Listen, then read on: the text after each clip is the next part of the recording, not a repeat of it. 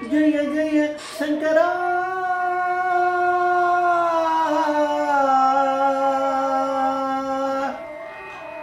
ஹர ஹர சங்கரா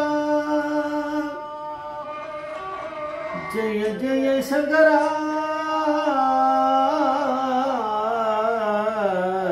ஹர ஹர சங்கரா ஜெய ஜெய சங்கரா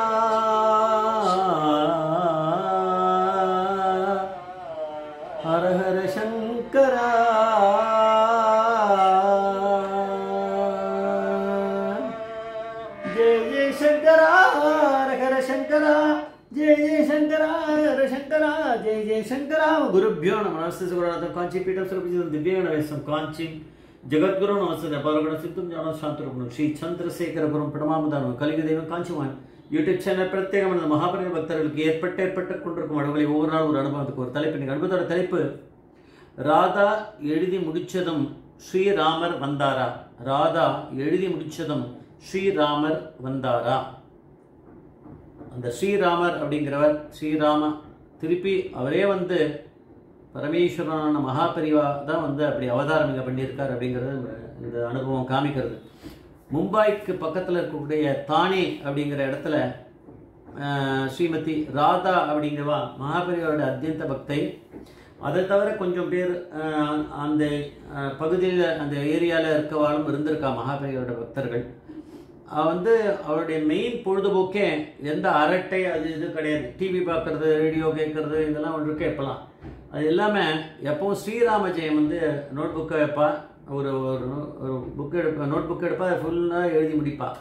அது எழுதி முடித்தோடனே அவர் ஒரு பிளான் பண்ணுவான் பெரியவாளை தரிசனம் பண்ணோன்னு. அது எவ்வளோன்னு தெரியாது. அது எவ்வளோ இருக்கலாம்? ஒரு பத்தாயிரம் இருக்கும் இருபதாயிரம். அதை முடித்தோடனே நேரம் வந்து மகாபெரிவாளை தரிசனம் பண்ணி அந்த நோட் புக்கை அந்த புக் சமர்ப்பணம் பண்ணிவிட்டு பிரசாதத்தை வாங்கிட்டு கிளம்பி திருப்பி தானே போய் சேர்ந்துருவான். இதுதான் அவளுடைய ரொட்டீன் அப்படி இருக்கும்போது ஒரு நோட் புக்கு எழுதின்னு இருக்கா. அதில் வந்து ஸ்ரீராமஜெயம் போயின்னு இருக்கு.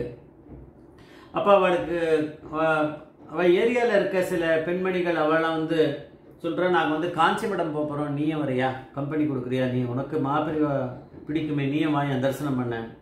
இவ கொஞ்சம் ஃபஸ்ட்டு வேணான்னு தான் நினச்சா. ஏன்னா இதெல்லாம் எழுதி முடிக்கணுமே. முதல்ல இந்த சங்கல்பம் அவளுடைய ஒரு நோட் புக் முடித்தோடனே தான் போய் தரிசனம் பண்ணியிருக்கா. இது வரைக்கும் எந்த விஷ் எந்த ஒரு காரணத்துக்காக தனியாக போய் தரிசனம் பண்ணதில்லை. வெறுமை போனதே கிடையாது.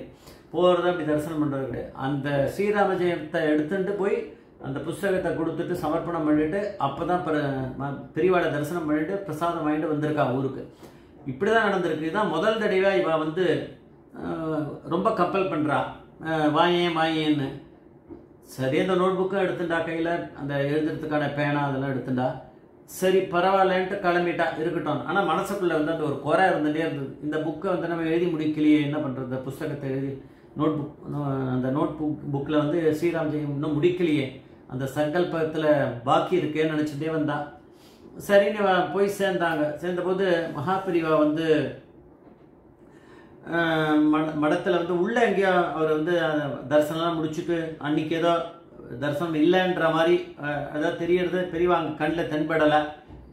கொஞ்சம் நேரமாகும் வரமாட்டான்றா லேட் ஆகுன்றா இல்லை இல்லவே இல்லைன்றக்கா அந்த மாதிரிலாம் ஒரு கன்ஃபியூ கன்ஃபியூஷனாக இருக்குது தரிசனம் இருக்குமா இல்லையா அப்படிங்கிறத பற்றியான ஒரு கிளாரிட்டி கிடைக்கல இவாளுக்கு.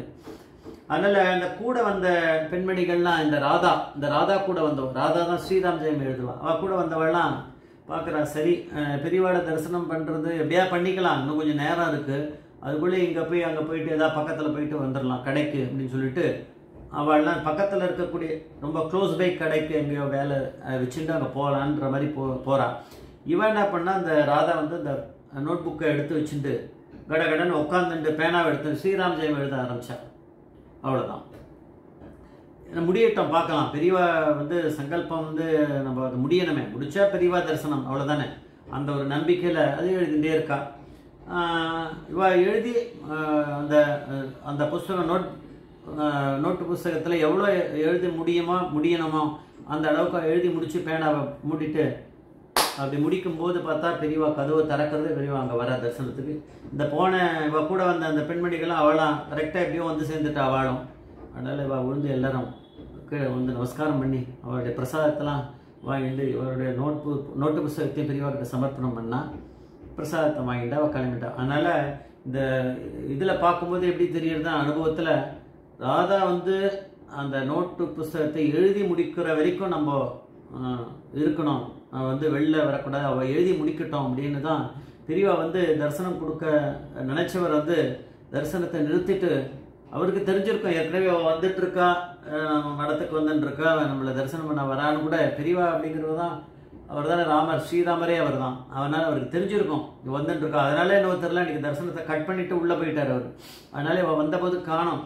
எப்போ ஒரு வாரம் தெரியாதுன்னு வேற ஒரு கன்ஃபியூஷனாக சொல்கிறதுனால பெரியவாங்க பார்த்துட்டே இருந்தா எப்போ வந்து அதை முடிக்கிறா அந்த நோட்டு புஸ்தகம் அப்படிங்கிறது பெரியவாளுக்கு தெரியுமே.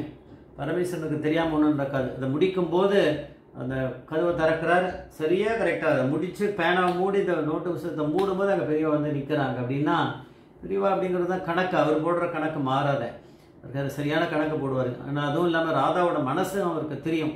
அதை எழுதி முடிக்காமல் அந்த அந்த நோட்டு புஸ்தகத்தை முடிக்காமல் தரிசனம் பண்ணுறதுன்றதுல அவளோட திருப்தி அவளுக்கு இருக்காது. தரிசனம் பண்ணுறது திருப்தி தான் ஆனால் இந்த நோட்டு புஸ்தகத்தை எழுதி முடிக்காமல் நம்ம இது வரைக்கும் பண்ணது இல்லையேன்னு அவன் மனசு கஷ்டப்படும் அப்படின்னு பெரியவாளுக்கு தெரியும். அந்த அளவுக்கு வந்து மனம் இறங்கி அவர் வந்து வர்றதுக்காக தான் இந்த மாதிரி பண்ணியிருக்காரு. இந்த தரிசனத்தை கொஞ்சம் நேரம் நிறுத்தி வச்சுட்டு ராதா எழுதி முடிக்கிற வரைக்கும் அவருடைய சங்கல்பம் பூர்த்தியாகிற வரைக்கும் இருந்திருக்கார்.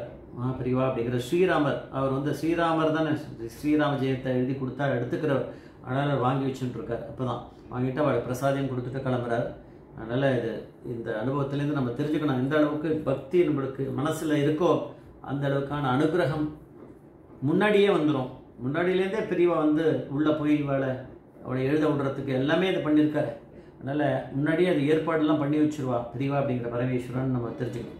ஜெய் ஜெய்சங்கர் ஹரிசங்கர் மகாபிரிவா பாதமேஸ்வரன் மகாபிரிவா பாதமேஸ்வரன்